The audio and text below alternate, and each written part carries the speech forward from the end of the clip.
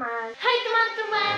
Jumpa lagi dengan Pantun Rohani. Ini dia nih Pantun Rohani untuk hari ini. Dengan Feby dan Dania di Surabaya. Ini bersama Angelita.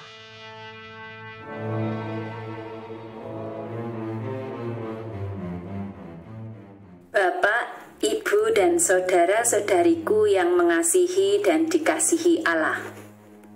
Lima hari setelah dilantik, Menteri Sosial yang baru, Ibu Tri Risma hari ini, mendatangi keluarga gelandangan yang tinggal di kolong tol dan jembatan, dan menawarkan tempat tinggal yang layak kepada mereka, sembari tetap mempersilahkan untuk melanjutkan profesinya sebagai pemulung. Hal yang mirip telah dilakukan Yesus sejak 2000 tahun lalu ketika menyembuhkan ibu mertua Simon. Sebagaimana yang kita baca dalam Injil Markus bab 1 ayat 29 sampai dengan ayat 39. Pada hari ini Rabu 13 Januari 2021. Beban tak akan hilang dengan mengeluh, tapi harus terus cari solusinya. Ibu mertua Simon langsung sembuh saat Yesus memegang tangannya. Yesus yang pada hakikatnya adalah Tuhan, tidak duduk diam dan berpangku tangan, menunggu laporan para muridnya tentang keadaan warganya yang berkesusahan. Tetapi Yesus sendiri yang berinisiatif datang ke rumah ibu mertua Simon Petrus dan menyembuhkan penyakitnya. Bapak, Ibu, dan saudara-saudariku yang dikasihi dan mengasihi Allah.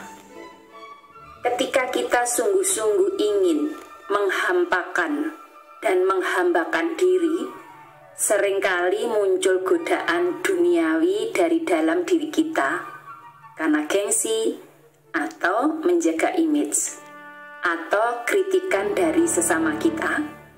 Akibatnya kita membatalkan diri untuk menjadi sesama dengan mereka yang membutuhkan pertolongan. Kita menjadi umat yang sangat beruntung karena memiliki Tuhan yang sangat dekat dengan kita.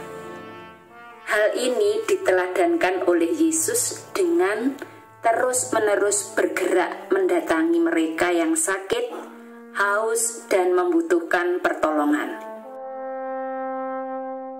Masa lalu janganlah diungkit-ungkit. Akan jangan sampai timbul pertengkaran. Yesus menyembuhkan berbagai penyakit. Ia juga mengusir banyak setan. Sadar bahwa tindakan menolong ini bisa berdampak pada kekeliruan pemahaman tentang misi kehadiran Yesus dan munculnya godaan akan ketenaran diri, maka Yesus segera berdoa dan menyingkir dari tempat yang membuatnya hebat dan terkenal untuk kembali mewartakan Injil. Banyak orang ingin menjadi kurus.